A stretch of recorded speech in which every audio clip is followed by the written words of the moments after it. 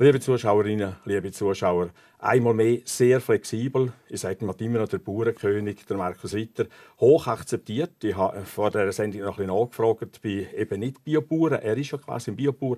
Er vertritt die alle gleichermaßen. Habe ich wirklich bei guten Kollegen nachgefragt. Es ist nicht irgendetwas, was jetzt hier so ein kleines bisschen schön reden, sondern es ist so, er vertritt alle. Ich glaube, im Moment, Markus Ritter, ist es ein kleines bisschen nötig geworden. Du bist manchmal ein bisschen laut geworden. Ich habe hier mal zwei, drei Sachen noch kurz gelesen. Ich habe mal gelesen, äh, WTO und EU fordern die Stützungszahlungen für den Agrarsektor zu beschränken. Dies geschieht einerseits im Interesse der ärmeren Länder, die volkswirtschaftlich in hohem Maße auf Agrarprodukte angewiesen sind und Devisen für den Import von lebenswichtigen Industriegütern erwirtschaften und so weiter und so fort. Und ich das gelesen habe, ich gedacht, ja, jetzt kommt es dann, oder? Der offene Markt. Oder äh, die Marktöffnung. Oder? Hast du das nicht erwartet damals, als schon die Ernährungs- Sicherheitsinitiative, quasi der Gegenvorschlag angenommen worden ist. Und in Punkt 4 hat man ja schon gesagt, man geht dann in die Richtung. Bist du völlig überrascht von dieser Vorlage vom Bundesrat? Ja, mal von dieser Art und Weise, wie sie dort hergekommen ist. Es ist ja so, dass wir bei Freihandelsabkommen immer sehr flexibel geschaut haben, was für Lösungen sind möglich. Die Schweiz hat schon 33 Freihandelsabkommen mit der Landwirtschaft, immer mehr oder weniger auch involviert. Die funktionieren. Und wir haben immer Hand geboten, um eben da Lösungen zu suchen. Aber so, dass der Bundesrat eben gerade um 30 bis 50 Prozent generell will, den Grenzschutz reduzieren, das hat uns schon ein bisschen getroffen. Eben, gell, also so ein richtiger Schock gell, ist durch die Reihe gegangen. Und äh, damals, im September, haben wir noch Freude haben noch den Champagner entkorkt und gefunden, jetzt ist etwas passiert. Aber weißt, ich habe dann gleich noch ein kleines bisschen angeschaut. Wenn ich jetzt hier so ein bisschen anschaue, da steht zum Beispiel da die Schweizer Landwirtschaft, das ist der Vorschlag oder, von den mhm. Kollegen. Vorschlag. Und Ernährungswirtschaft muss sich auf dem Markt besser behaupten können. Ich habe schon dort gedacht, hoppla, was kommt das an? Ja gut, das ist immer unser Ziel. Also der Markt, das sind für uns Konsumentinnen und Konsumenten und dass wir grundsätzlich die Produkte auch herstellen, die gefragt sind, die Konsumentinnen und Konsumenten wünschen. Das ist für uns selbstverständlich. Für uns ist aber wichtig, in der Schweiz haben wir natürlich wie alle anderen auch sehr hohe Kosten und da ist für uns wichtig, dass wir eben auch diese Kosten tragen können und für das braucht es eben den Grenzschutz. Eben, und wenn der nicht da ist, dann hat man ungleiche Spieße, gell? Das ist auch, richtig. Auch ja. mit den verschiedenen flankierenden Massnahmen. Weißt, ich bin ja alleine, gell? Also das merkt ihr, liebe Zuschauerinnen, liebe Zuschauer. Ich bin eigentlich alleine. Meine Frau hinter der Kamera steht, die kommt aus einer Bauernfamilie. Mein Schwager hat etwa 50, 60 Hektare im EU-Land. Er ist ein EU-Bauer. Also da weiß ich ein bisschen, wie es dort geht. Also so viel besser ist es dann im Fall auch nicht. Oder? Also auf das muss man nicht unbedingt hoffen. Oder? Aber wer sich sicher so ein bisschen interessiert, also, also warum hat man das mit euch denn nicht abgesprochen?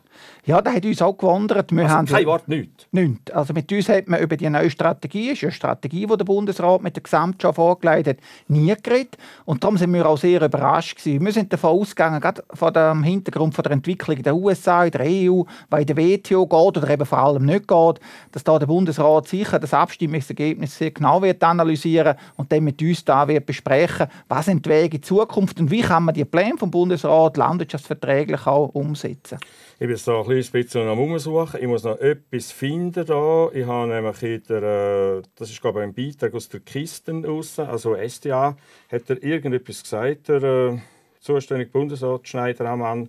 Ich muss schauen, ob wir das da so draufkriegen. Und hat dann, und hätte dann eigentlich schon auch klar gesagt, äh, wie das quasi aus seiner Sicht laufen sollte. Vielleicht lassen wir mal ein kleines bisschen zu. Herr Bundesrat, durch Freihandelsabkommen will man den Markt für die Landwirte künftig weiter öffnen. Was bringt das den Schweizer Bauern? Ist das auch ein Angriff auf die Landwirtschaft? Das Wort Angriff will ich nicht hören. Das ist es definitiv nicht. Wir wollen die Landwirtschaft kompetitiv machen, damit sie mit in die Zukunft genommen werden kann und in der Zukunft erfolgreich besteht mit Qualitätsprodukten, mit hoher Leistungsfähigkeit. Gleichzeitig sollen Landwirte die Umweltbelastung senken. Widerspricht das nicht der Marktöffnung? Nein, das muss der Marktöffnung nicht widersprechen. Man kann Märkte öffnen und gleichzeitig äh, Belastungen reduzieren. Äh, das hat auch etwas mit Vorschriften zu tun. Wir werden den Vorschriftendschungel etwas ausholzen müssen, damit wir äh, die Kosten reduzieren können, die Effizienz äh, steigern können und letztlich auch, äh, wenn es dann am richtigen Ort gemacht ist, äh, Stickstoff oder was auch immer, äh, muss die Belastung reduziert werden. Also es gibt jede Menge Aufgaben zu lösen. Ich freue mich darauf und ich will das im Dialog tun. Und der Bundesrat will das im Dialog tun. Da müssen wir schnell unterbrechen. Also im Dialog tun, hat er gesagt.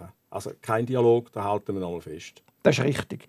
Das ist richtig. Äh, wir haben über die Gesamtschau, über die neue strategische Ausrichtung nicht können vorher reden. Wir hätten ihm sicher auch die richtigen Fragen gestellt. Der Bundesrat ist ja in verschiedenen Bereichen auch ein bisschen im Abseits jetzt, wo er auch probiert zu relativieren, wo er vielleicht auch gemerkt hat, dass er falsch liegt in seiner neuen Strategie. Und wenn er mit uns vorher geredet hätte, hätten wir ihm da ja gesagt, oder schau auf da und da und da und da, musst du noch besser abklären.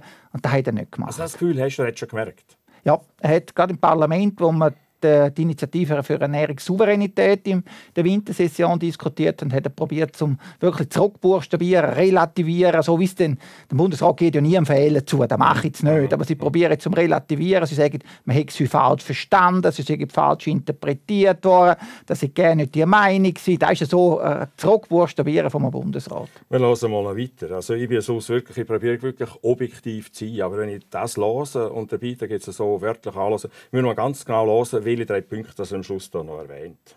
Bauern klagen oft über tiefe Milchpreise.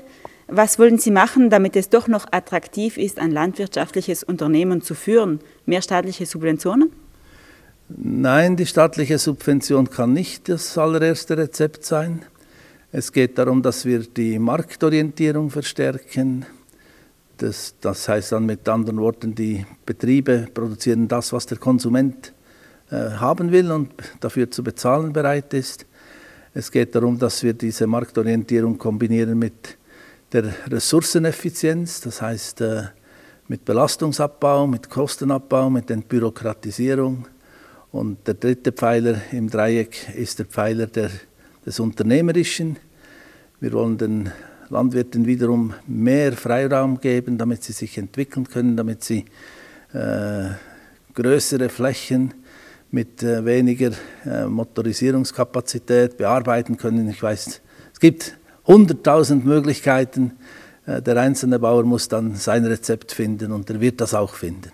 Ja, also ich weiß nicht, wie es euch geht, aber ich habe es extra aufgeschrieben, was er gesagt hat. Also ich kann davon ausgehen, dass das, was man jetzt hier sieht, wirklich wird, was so gesagt wurde. Er sagt zuerst einmal, klar, äh, ja, man kann nicht nur einfach an Direktzahlungen, eben halt, äh, Subventionierung ist nicht das erste Rezept. Er sagt nachher, Marktorientierung verstärken. Er sagt nachher entbürokratisieren. Er sagt nachher unternehmerisches Denken. Ich denke, bei, bei diesen drei Punkten liegt alles eigentlich bei der, Land, bei der Landwirt selber, oder? Richtig, äh, das kann ich ja gerne kritisieren, was er da sagt. Er wählt einfach völlig die falschen Instrumente, um die Ziele zu erreichen. Wir wollen Unternehmen sein, wir wollen marktorientiert sein, wir sind auch bereit, um wirklich uns auch auf die Bedürfnisse der Konsumenten einzustellen. Aber die Instrumente, die er wählt in seiner Strategie, sind natürlich völlig falsch. Er blendet aus, dass wir in der Schweiz natürlich ganz andere Kosten haben, um Lebensmittel zu produzieren, als gerade im benachbarten Österreich. Wir haben ja hier näher an der Grenze.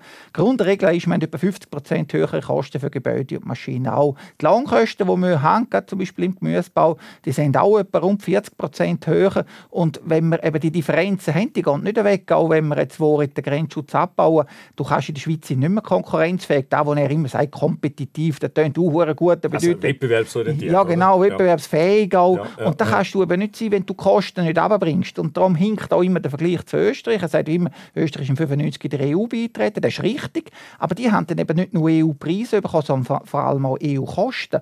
Und das ist entscheidend. Nicht, was du einnimmst, sondern was du wieder davor musst ausgeben Mhm, mhm. Weißt du, was ich nicht so ganz begreifen, oder? Auf der einen Seite will er den Markt öffnen, und, aber dann gibt es am Schluss x flankierende Massnahmen, die man dann vielleicht machen muss. Und auf der anderen Seite dann aber wieder äh, ja, die Lohnkosten will man dann wieder stützen. Also, äh, das ist ein Umschreiben auf verschiedene Richtungen und also eine Führungslosigkeit. Oder sehe ich das jetzt verkehrt? Also, für mich ist das ganz ehrlich gesagt, wenn ich das als Laie anschaue, bin, ich bin Laie, eine völlige Führungslosigkeit. Ja, vor allem, ich sehe Zusammenhänge nicht. Oder? In der Schweiz müsste man von einem Problem reden für Konsumenten, gerade auch wenn die landwirtschaftlichen Produkte zu hoch wären, zu teuer wären, wenn der Konsument relativ viel ausgeht. Aber wir gehen in Europa weit am wenigsten aus vom durchschnittlichen Einkommen. Das sind noch 6,3 Prozent, die wir vom durchschnittlichen durchschnittlichen Einkommen für Lebensmittel ausgeben. Da hat niemand zu Europa. Das hängt auch mit unseren hohen Löhnen. Das ist schön so. Und auf der anderen Seite haben wir vom Konsumentenfranken den Bauern auf 25 Rappen. Das heisst, mit seinem, mit seinem Konzept, das er hat, wo die Lebensmittel vielleicht 5, 6, 7 Prozent billiger, wenn es Verarbeitung und Handel auch bis zum Konsument weitergeben. Die Bauern könnten aber nochmal leben. Und auf der anderen Seite wird die Mehrwertsteuer erhöhen, um dann die Zoll- und die Versteigerungserlöse, die es gibt bei der Import, zu kompensieren. Dort sollten die Konsumenten wieder zahlen. Es ist also wirklich konzeptlos und eben nicht durchgedacht. Und ich habe so festgestellt, auch als Laie, also ein Unternehmer oder jetzt sagen wir, ihr als Bauer, könnt den Markt steuern. Also der Markt wird sicher nicht durch euch gesteuert. Also, da glaube ich jetzt einfach nicht. Also, äh, weil die Produkte, die werden von den Verkäufern gekauft und die, das, das wird das gekauft, im Laden drin ist. Also da können die nicht steuern, der Markt. Nein, wir probieren uns vor allem auch mit unserer Produktionsweise auch den verschiedenen geändert, auch gesellschaftlichen Trend anzupassen. Ich, möchte daran erinnern, heute haben wir ja sehr viele Produkte, die vor 20, 30 Jahren weniger der Fall waren, wenn ich zum Beispiel jetzt im Biobereich denke, aber auch natürlich auch das viele Weidefleisch, das heute auf den Tisch kommt, viele Bauern, die in Nischen auch tätig sind. Die Landwirtschaft hat sich sehr stark gewandelt die letzten 20, 25 Jahre, auch in Richtung naturnahe Produktion, Biodiversität, Nachhaltigkeit, da sind wir sehr erfolgreich auch unterwegs. Schätze ich Konsumentinnen und Konsumenten auch. Aber für das muss man gewisse Grundlagen haben. Und die Schweizer Landwirtschaft hat natürlich einen anderen Auftrag als zum Beispiel jetzt die Industrie, wo der Bundesrat Schneider-Ammann herkommt.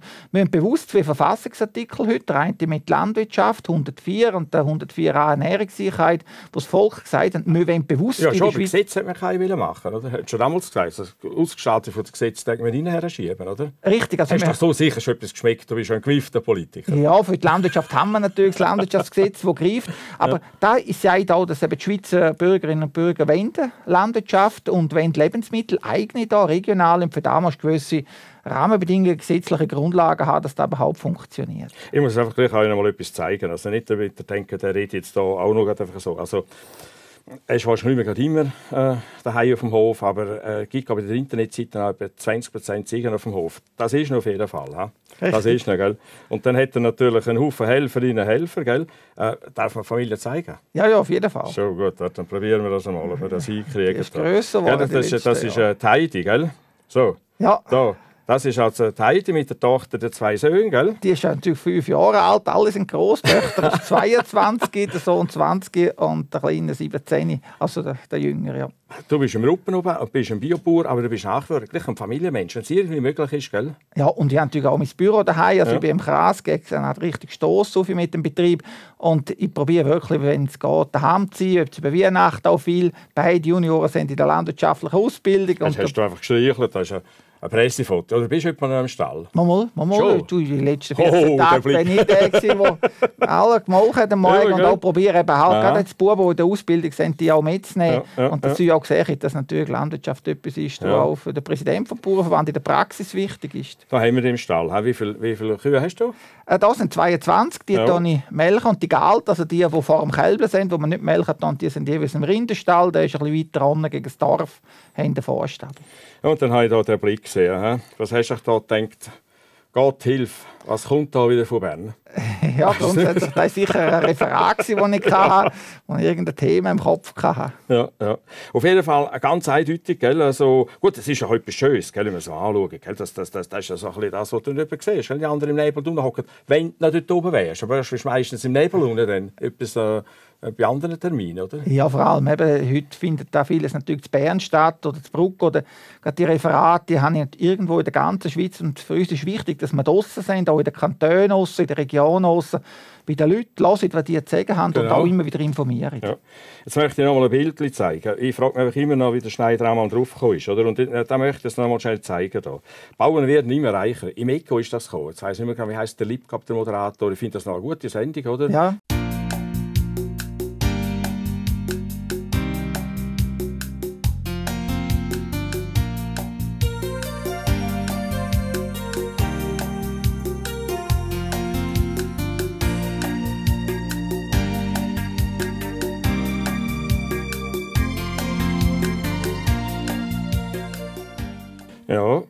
Was sagst du dazu? Ja, grundsätzlich ist natürlich das Eigenkapital im Betrieb in ein bisschen die Altersvorsorge. 80 Prozent der Bäuerinnen und Bauern haben keine zweite Säule.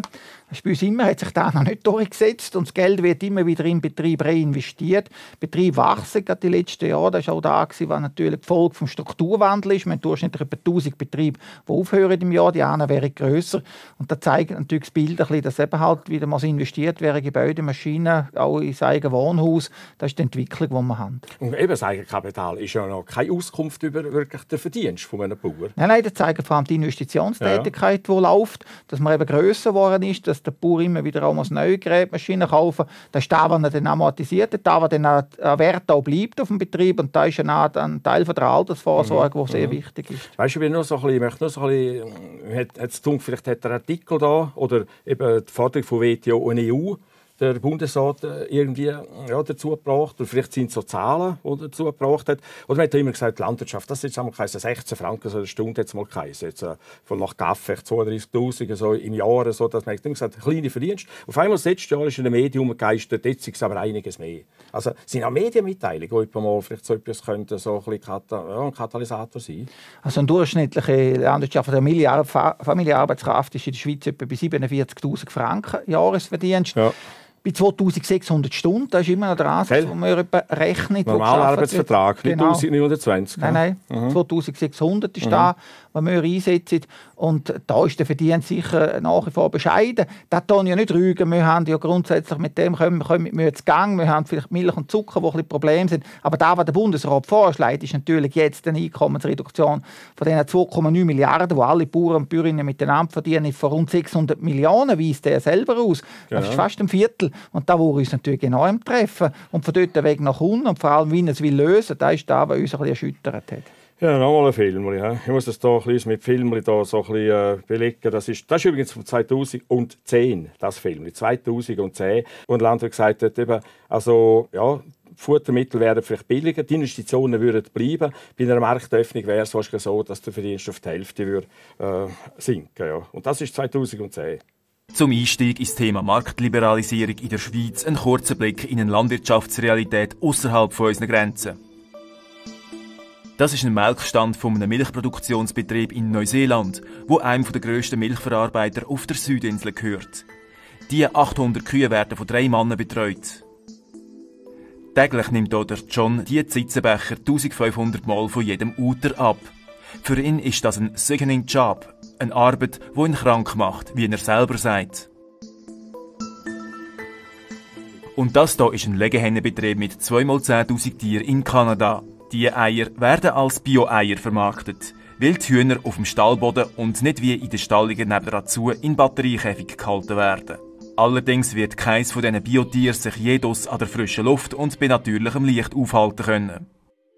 Und 50 Kilometer nebenan zu entsteht gerade ein neuer Säustall für 3000 Muttersauen. Auslauf ist hier kein Thema. Ja, und auch das hier ist im Ausland eine Realität. Kühe mit gupierten Schwänzen, um die Melkhygiene zu optimieren. Es ist kein Geheimnis. Da wird günstiger und mit weniger Vorschriften, aber auch mit einer anderen Moral gewirtschaftet. Und das ist der Betrieb von Franz Hagebuch und der Esther Dresch in einem Weiler von der Rüstaler Gemeinde Rottenschwil. Mit 25 Hektaren landwirtschaftlicher Nutzfläche und 200 Monimastplätzen heute ein veritabler Hof. Dann im Acher haben wir einfach Mais, Weizen, Gerste Gras, Zwischenfutter. Wir haben äh, vier Hektare Herdöpfel. Aus der Sicht von einer weltmarktorientierten Landwirtschaft hätte dieser Betrieb in der heutigen Form im besten Fall noch einen Freizeitcharakter. Bei einer Grenzöffnung würde sich der Erlös trotz tieferer Futtermittelkosten aus der Rindermast halbieren. Ein ähnliches Szenario wäre auch beim Acher- und Herdöpfelanbau anzutreffen.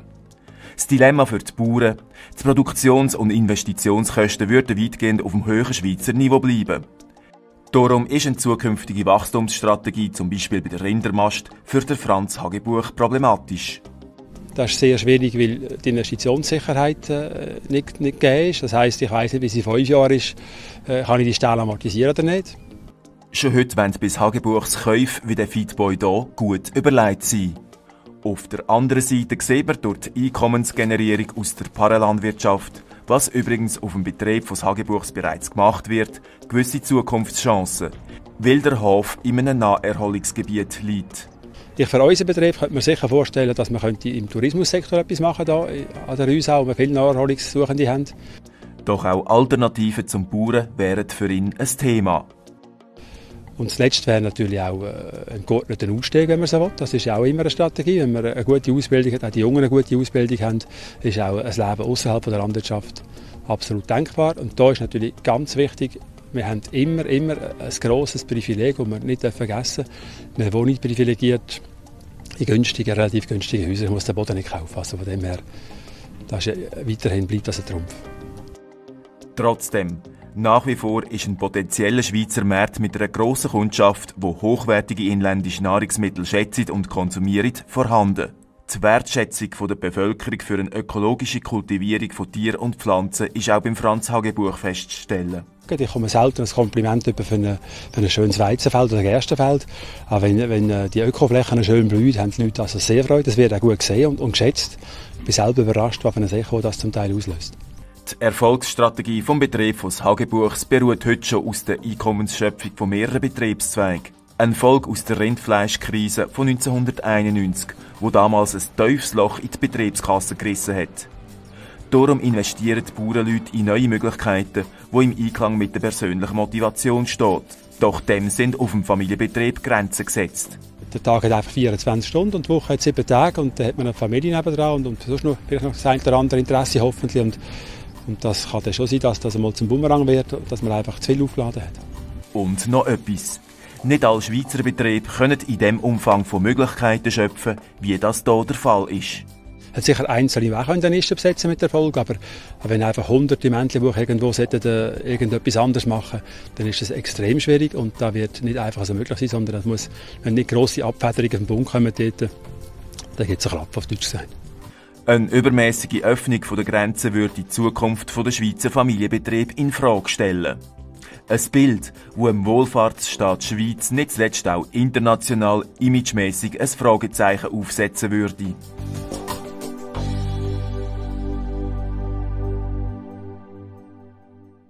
Was sagst du dazu jetzt also zum ersten Teil des Films? Also, wäre bei uns die Nahrungsmittelproduktion auch so? Ja, also grundsätzlich ist es äh, sicher sehr industriell, gerade die ganze Produktion, die wir haben, die grossen Teile von der EU, aber vor allem auch dann, wenn man Märkte anschaut in den USA oder gerade auch Brasilien. Also äh, da, wo sicher sich in diese Richtung verschieben. Die Frage ist, wie die Vorschriften sich bei uns entwickeln wollen. Das wahrscheinliche Szenario in der Schweiz, aber die Kosten bleiben natürlich hoch für die Investitionen dass äh, sehr, sehr viele Bauern aussteigen wollen, äh, neben dem Erwerbsbetrieb, dass äh, da irgendwo nur noch ein Hobby wäre. Da wäre eher die, die Tendenz, wo, wo viel mehr Import auch von Lebensmitteln, die Schweizer Produktion wird deutlich zurückgehen, auch mit der Auswirkung auf Verarbeitung und Handel. Wir haben immer noch rund 400'000 Arbeitsplätze, Landwirtschaft 160'000, vorgelagert 50'000 und nachgelagert 200'000. 1000 Arbeitsplätze, die direkt mit den Lebensmitteln zusammenhängen, das ist sehr viel. Und diese Arbeitsplätze wären zum rechten Teil gefördert, wenn es so eine Entwicklung auch gäbe. Eben, er rüstet sich jetzt noch relativ locker. Also, oder? Er hat gesagt, ein geplanter Ausstieg. Dann sagt er natürlich aber schon auch, Verdienst wäre die Hälfte. Dann kommt er auf 91 zu reden, wo der Fleischpreis dermaßen gesagt ist. Also ein kleines bisschen skeptisch ist er auch, obwohl er sicher eine komfortable Lage hat. Er kann touristisch auch noch etwas machen. Mit Ross und so weiter ist er Ort tätig, wo er wahrscheinlich wenigstens befürchtet. Aber eben nochmal, das ist 2010. Also das ist jetzt sieben Jahre bevor der Bundesrat jetzt äh, das mit Vehemenz so fordert, wie wir es vorher geschildert haben. Also weißt, ich frage mich, wie kann das etwas passieren? Passieren mit so einer Vorlaufzeit, wo man die Gefahren ja kennt? Wir haben natürlich die Diskussion schon rund zehn Jahre. Gerade auch im Rahmen von Freihandelsabkommen mit der USA, Agrarfreihandel mit der EU, da ist vor allem auch im Zusammenhang Agrarfreihandel mit der EU Also das Thema ist schon länger präsent. Nur, der Hintergrund ist jetzt völlig ein anderer. Darum sind wir im Bundesrat überrascht. Trotzdem war da ein grosses Thema gewesen, man derartige Abkommen machen. Aber im Moment ist ja gerade die Weltwirtschaft, die verschiedenen Bereiche, auch von der USA sehr protektionistisch unterwegs. Also Freihandel ist kein Thema. Hat sich auch politisch ein durchgesetzt, dass eben Freihandel eben weniger reich gemacht hat und die Armen zahlreich. Also gerade der Wohlfahrtsgewinn, den es geben mit Freihandel, der ist unbestritten, der wird sehr einseitig verteilt, gerade in den USA. Und die Entwicklung hat der Wahlerfolg vom äh, Präsident Trump erst möglich gemacht, 2016 äh, und dann mit 2017 hat er die Politik völlig umgekehrt, gerade auch so wie er jetzt unterwegs ist. Die grossen Abkommen hat er ja alle gekündigt, verhandelt nicht mehr mit der EU und versucht auch die WTO mit der Schiedsgerichtsbarkeit äh, außer Kraft zu setzen. Und da sehen wir, dass da eine andere Entwicklung ist und darum hat der Bundesrat eben auch kein Fundament mit der Strategie, die er jetzt bringt. Wie geht es weiter? Ja, grundsätzlich ist es so, dass wir auf dem parlamentarischen Weg Ende März die Gesamtstrategie in der Wirtschaftskommission vom Nationalrat diskutieren. Dort ist klar das Ziel, dass man die zurückweisen am Bundesrat zur Überarbeitung. Das ist auch der richtige Weg im Parlament. Der Bundesrat will einen runden Tisch machen. Wir sehen diesen Weg nicht im Moment. wir vor allem Momentan eher ein eckiger Tisch. Ja? Äh, eher ein eckiger Tisch. Was wir vor allem mit dem diskutieren ist über Zusammenarbeit und Kommunikation. Unser Problem ist ein bisschen, wenn man einmal da und einmal selbst sagt, da haben wir in dem, oder im letzten Jahr sehr viele verschiedene Themen erlebt. Und wir wollen dann mal ein bisschen wissen von ihm, was gilt im Moment noch, was sind die Aussagen, die man auch im Parlament macht, was sind die Werte seitens ins Bundesrat. Und diese Diskussion muss zuerst geführt werden, bevor wir uns über Sachthemen wieder außerhalb des Parlaments unterhalten. Eben, ich muss ja sagen, liebe Lehrer, Du bist Landwirt. Im Bildungswesen ist äh, ja, staatliche Subventionierung, wenn man so will immer aufgegangen. Landwirtschaft ist eigentlich gleich geblieben. Also, es gibt doch gar keinen Grund, oder? Nein, also grundsätzlich Direktzahlungen sind seit über 15 Jahren gleich. Auch im Bundesbudget sind wir der einzige Posten, der sich nie mehr nach oben entwickelt hat. Mit dem können wir auch leben. Also, wir sind grundsätzlich, wenn man die jetzige Höhe von Direktzahlungen und äh, Marktstützungen kann beibehalten kann, sind wir zufrieden. Aber was wir nicht wollen, alle Jahre einen Kürzungsantrag vom Bundesrat von 100 Millionen, den er jedes Jahr bringt, auch letztes Jahr wieder und da wird alle vom Parlament korrigiert und wir haben das Gefühl, es ist ein bisschen lernresistent, der Bundesrat. Auf das kommen wir noch. Äh, mein grösstes Problem ist jetzt im Moment, also nachdem ich hundertprozentig sicher bin, du sitzt dir durch, irgendwie sitzen drei durch. Also meine, die Lobby, ich habe den Händler und äh, dir sagt mir, du bist ein schlagkräftiger Bauernpräsident. Du hast mal gesagt, du willst der Beste sein, oder? Jetzt, jetzt hast du wirklich ein Päckchen verrutscht, oder, wo du wirklich musst zeigen oder dass äh, etwas so läuft. Was mich für mich interessiert, wenn jetzt angenommen so etwas läuft, sind nicht Bauern dann halt, weißt, äh, weniger motiviert, äh, schlägt das auch auf die Lebensmittel Qualität aus oder wie ist es das? Also das ist eigentlich das Allerschlimmste, was wir haben. Oder? Die Informationen vom Bundesrat und wir haben die auch dann noch richtig entsprechend ausgedeutscht, dass der Bauer versteht, was bedeutet und was geschlagen hat. Die belastet natürlich äh, die Bauernfamilien schon. Und das Schlimmste ist, Alltag wäre der Entscheid gefällt auf unseren 52'000 Bauernhöfen, führen wir den Betrieb weiter, lernt eine Tochter oder ein Sohn wie der Landwirt. Und wenn natürlich derige Nachrichten kommen, dann ist das Gift für die Landwirtschaft. Da gibt es sehr viel Unsicherheit, Bereitschaft zum Aussteigen, die Bereitschaft zum den Betrieb nicht weiterführen. Wir haben jetzt schon Tausende, die alle aufhören. Die steigt und da ist einfach sehr schade. Das sind irreparable Schäden und da macht von mir aus der Bundesrat fahrlässig. Eben, und da steckt kein Geissen weg. Also die kleinen Bauern zum Beispiel verschwinden, die größeren werden vielleicht nicht ärmer, sondern äh, es verteilt sich vielleicht dann auf die. Aber die Lebensmittel natürlich unter jeglicher Optimierung leiden wahrscheinlich qualitativ auch, vermute ich. Das ist auch meine Vermutung. Ja, vor allem eben, wenn wir mehr importieren, oder? Mhm. Weil wir vor allem erwähnt nachhaltig produzierte Lebensmittel, die eben auch ökologische und soziale Standards eine grosse Bedeutung haben. Da gibt es verschiedene Initiativen, die in diese Richtung auch kommen, wo wir auch in diesem Jahr werden darüber abstimmen, auch mit der Schweizer Bevölkerung. Genau. Und da wird es grosse Themen sein, wenn wir einen fairen Handel, gerade bei den Lebensmitteln in der Schweiz und weltweit, oder wenn wir Freihandel. Da wird die Frage sein, die die Bevölkerung dieses Jahr kann beantworten kann. Und ein fairer Handel ist nur dann möglich, wenn ihr eben als, äh, ja, als Partner fair behandelt werdet. Eben vom Bundesrat. Ist ja noch umso schlimmer. Der Bauernpräsident müsste nicht unbedingt Nationalrat sein. Du bist beides. Also der Kontakt wäre relativ einfach äh, zum Suchen gewesen, oder? Ja, grundsätzlich schon. Es ist ein großer Vorteil, wenn man im Nationalrat ist und wenn man auch in der Wirtschaftskommission ist, dann kann man da relativ klasse ankommen. Bei uns muss er vorbeikommen, der Bundesrat, wenn wir mhm. das Geschäft traktandieren, wie wir da jetzt mit der Strategie machen, dann ladet wir den Bundesrat ein, dann stellen wir die Fragen und können den Bericht auch zurückweisen und da lässt uns auch relativ klasse sein. Also wir müssen nicht nervös werden, sondern wir wissen, durch diese hohle Gasse rauskommen und dort sind wir dann geröstet und warten und suchen dort das Gespräch mit dem. Wie gesagt, ich bin Laie, aber ich habe festgestellt, oder, auch in meiner Umgebung, als Bauern aufgehört haben, man hockt das Grabs im Studio drin, ganz nebenan hat es wirklich junge Bauern gehabt, die gesagt haben, dass lieber das Green pflegen dort beim Golfplatz, also so auf diese Art und Weise weitermachen. Mein Schwager in Kärnten ist lang, lang sonst arbeiten gegangen, hat keine Familie, ist dort allein verdienen, hat einen Haufen Wald und solche Sachen, aber eben, also ein Verdienst ist extrem schwierig und so kann es ja eigentlich nicht weitergehen, weil die Landwirtschaft ist ja früher schon sehr, sehr zentral. Habt ihr äh, hast gesagt, fairen, fairen Handel. Haben die einen Vorschlag? Also, was er würde machen. Du, du zeigst ja eindeutig kompromissbereit. Das, das zeigt sich eindeutig. Also mir ist erstaunt, dass du sagst, also mit dem Lohn kann man leben. Also, das ist nicht viel. Oder rechnet, das doch einmal aus. 47'000 durch äh, eben 2600 Stunden. Dann weiss nicht so sicher, ob ihr zufrieden wäre mit dem, morgen um 5 Uhr aufstehen und irgendwann einmal ins Bett gehen. Also nochmal 2600 Stunden haben wir dann schon Haufen Ferien kassiert, bis der Bauer dann auch mal in die Ferien kommt. Also eben, du bist ja kompromissbereit. Also siehst du da die Möglichkeit für einen fairen Handel, was du ihm vorschlagen kannst? Also ich gehe davon aus, du sagst mir jetzt wahrscheinlich nicht, aber... Mal, also grundsätzlich alles, was wir machen, ist offen und transparent. Wir müssen nichts in der Hinterkammer machen. Oder wir haben eine klare Vorstellung, auch, wie man den Handel muss weiterentwickeln muss. Und äh, die Weiterentwicklung des Handels steht immer im internationalen Kontext. Und wenn man die Entwicklung jetzt anschaut, stellen wir fest, dass das WTO komplett blockiert ist. Also multilaterale Abkommen, wo viele Länder miteinander etwas abmachen, da wird die nächsten Jahre nicht kommen. Die haben riesen Mühe, sich äh, überhaupt noch auf irgendetwas zu einigen. Wir werden ihnen noch den bilateralen Weg haben, wo einzelne Länder, also die Schweiz mit einem anderen Land etwas abmacht, wo man probiert, den Handel zu vereinfachen. Und da gibt es einen grossen Unterschied zu der EU und das ist unsere Chance und da probiere ich auf den Bundesrat zu erklären, vielleicht schafft es da irgendwann zu begreifen. Oder? Die EU ist ein grosser Agrarnettoexporteur. Die EU tut sehr viele Lebensmittel exportieren und hat kein Interesse, zum Beispiel jetzt mit den südamerikanischen Staaten Freihandelsabkommen zu machen, wie sie Lebensmittel exportieren, Brasilien, Argentinien, Paraguay, wollen auch Lebensmittel exportieren. Und da ist ein großer Kampf. Die Schweiz ist aber einer der grossen, vor allem wertmäßig grossen Netto-Agrarimporteure. Wir um 40 Prozent unserer Lebensmittel, die wir brauchen, wir importieren. Bei mir in der Schweiz hat sehr viel Wald und Alpen und Steine und Felsland und wenig Kulturland.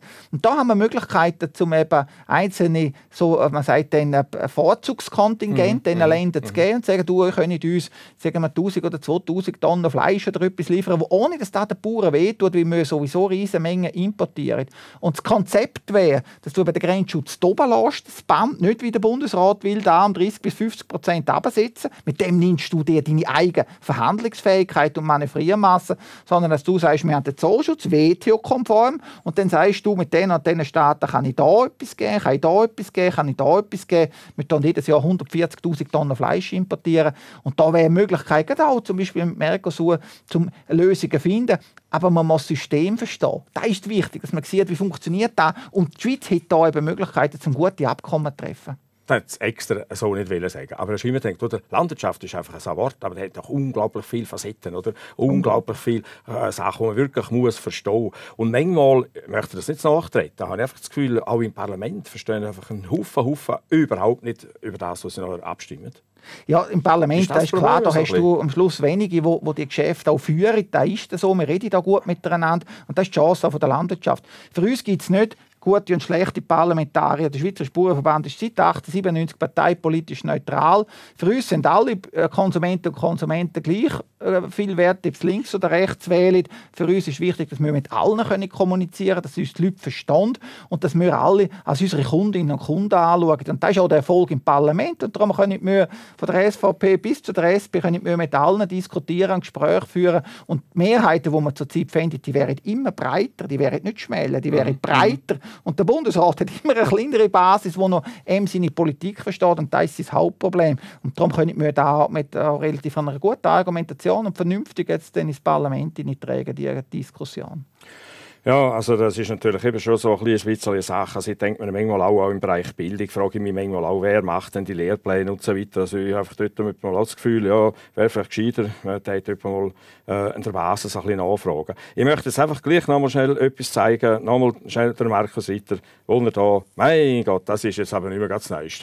Nein, da ist ebenfalls etwa fünfjährig, das Bild. Die sind schnell grösser geworden, die zwei Buben. Aber der Rapid Spezial haben wir natürlich noch. Der Nicht mit Hydrostat. Täglicher Einsatz. Was wir gemacht haben, ist, wir haben, äh, der Adrian, der Ältere, ist Landmaschinenmechaniker jetzt. Die Ausbildung hat er bereits fertig.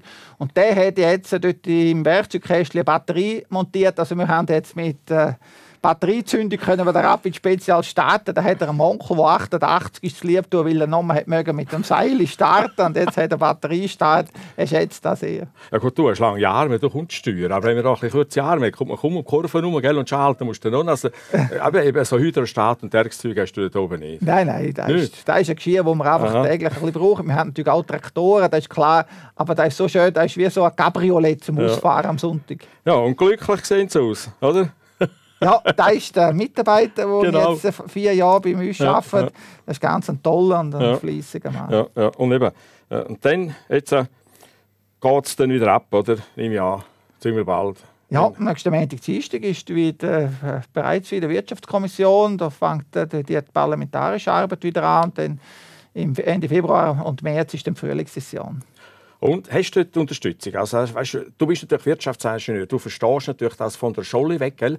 aber mit Bierbrauen, äh, nein, Bier, Bier hast du ausgeführt, gell? nicht braut, aber früher mal, gell? vor 22 ausgeführt. bist du mal mit Bier ja, rumgefahren, genau, oder? bist dort schon viel mit Leuten in Kontakt gekommen, hast ja. Kommunikation gelernt, hast schon die Landwirtschaft von der BIK gelernt, hast dann auch studiert und so weiter. Eben, es ist hochkompliziert. Hast du das Gefühl, dass Basel, wo du da im Schnellzugstempo so einmal offerierst und darstellst, da verstehen deine Kolleginnen und Kollegen im Parlament, also auf das dass es dann unter Umständen zu einer guten Lösung kommt. Mal, also ich glaube, Schon. wir können teilweise gut erklären. Und es sind bei jedem Geschäft sind es dann einmal eine Handvoll Leute, die einmal da in der Tiefe bearbeiten und wir diskutieren gut miteinander. Man muss auch zulassen, was die anderen für Meinungen haben. Es ist auch so, dass manchmal ganz gute Ideen von anderen Seiten herkommen, die man bereit sein zum Aufnehmen. Weil die guten Lösungen gibt es immer nur im Gespräch dann dürfen wir hoffen, und jetzt meine letzte Frage, dass wir in der Schweiz weiterhin hochqualitative Nahrungsmittel haben und nicht mehr fürchten, dass dies und jenes dem Ausland her gehört, oder wo genau wegen der Produktion ja dann auch dies und jenes an Lebensmittelqualität wirklich deutsch und klar verreckt und auch